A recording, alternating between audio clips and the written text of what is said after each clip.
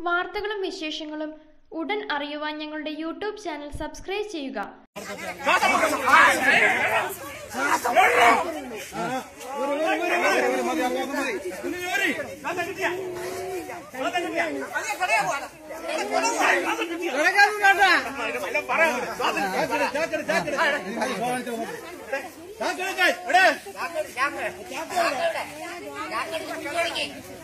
ചാക്കടിക്ക് よろしくお願いします。